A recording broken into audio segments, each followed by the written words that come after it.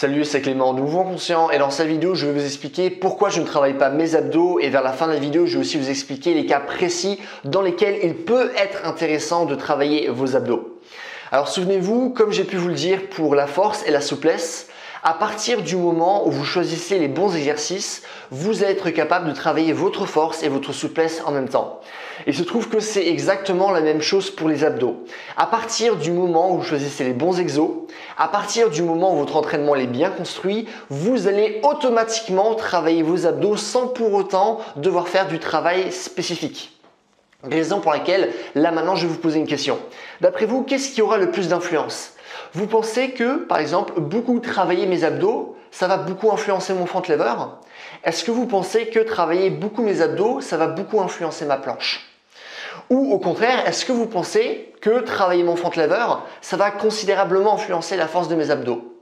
Est-ce dans la même euh, lignée? Est-ce que vous pensez que beaucoup travailler ma planche, ça va considérablement impacter la force de mes abdos? Qu'est-ce qui aura le plus d'influence? Travailler les abdos ou travailler des mouvements comme le front lever ou la planche?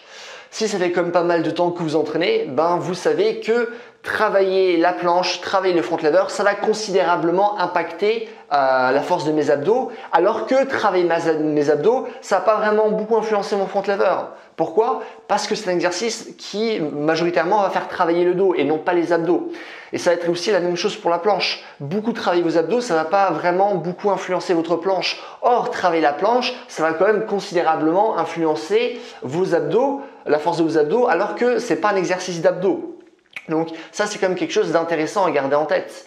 Et là, bien sûr, je vous donne euh, des exemples avec des exercices de gymnastique, mais on pourrait tirer les mêmes conclusions avec euh, des exercices plus traditionnels de muscu, de force, euh, comme le soulevé de terre. Est-ce que vous pensez réellement qu'on peut soulever vraiment une charge très lourde au développé couché, au soulevé de terre, pardon, et malgré ça avoir des abdos qui sont faibles Vous pensez réellement que c'est possible?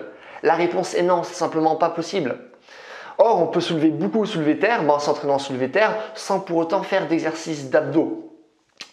Et tout ça pour vous dire vraiment que euh, les abdos, c'est pas quelque chose qu'on doit travailler automatiquement. Pourtant, c'est vraiment quelque chose qu'on nous laisse croire dans cette industrie du finesse, parce que justement, tout est lié au finesse, à la musculation, ce genre de choses. Par contre, ce n'est pas parce que c'est automatiquement intéressant de travailler nos abdos qu'il faut jamais travailler nos abdos. En effet, il y a des cas précis dans lesquels ça peut être intéressant. Premier cas, vous êtes un débutant complet. À ce moment-là, même si vous choisissez les bons exercices, ça va être compliqué pour vous de gainer suffisamment euh, votre corps pour bien effectuer ces exos. À ce moment-là, ça peut être intéressant de rajouter du travail d'abdos. Deuxième cas spécifique, euh, si vous pratiquez des sports, imaginons comme euh, euh, le MMA ou la boxe, ce genre de choses, à ce moment-là, ça va être très important de travailler vos abdos.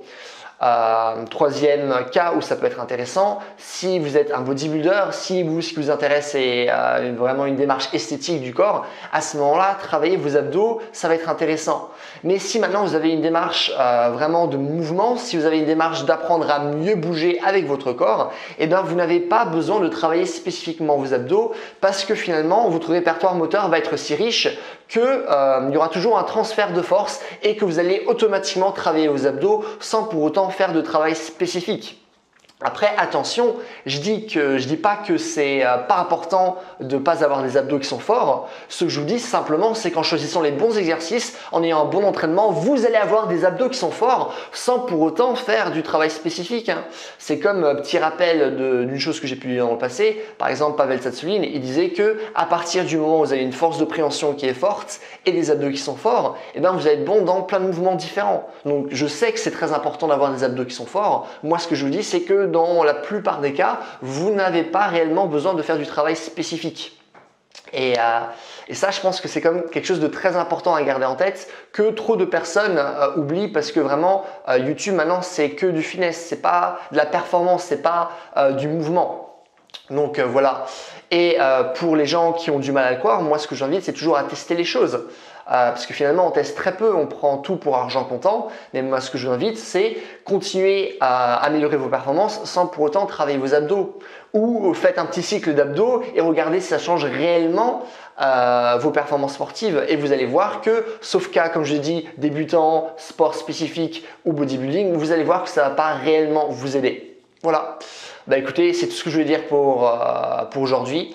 Euh, si vous avez des questions par rapport au sujet que j'ai abordé, par rapport à la force, la souplesse, la coordination, l'endurance, la vitesse, l'équilibre, n'hésitez pas euh, à me poser vos questions dans les commentaires. Je réponds à tout le monde comme d'habitude.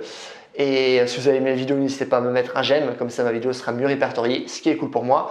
Et dernièrement, si vous voulez justement un programme qui vous explique comment développer un corps qui est fort, qui vous donne tous les exercices pour y arriver, mais qui vous explique aussi comment avoir un corps qui est souple avec l'exercice pour y arriver, mais aussi avec des programmes d'entraînement que vous pouvez suivre. Pareil avec la vitesse, pareil avec l'endurance, Pareil avec la coordination, un programme qui parle de mouvement de manière générale, comment mieux bouger avec son corps, un programme qui parle de posture, de rééducation, avec vraiment des informations très concrètes que vous pouvez mettre en place dans votre vie de tous les jours, dans vos entraînements. N'hésitez pas à aller sur mon site, c'est le premier lien dans l'inscription.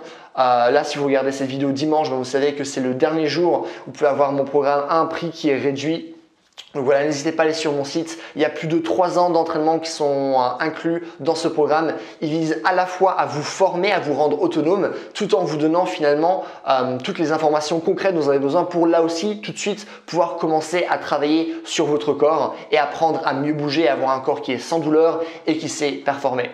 Ben voilà, c'est tout et ben, c'est une journée. Bye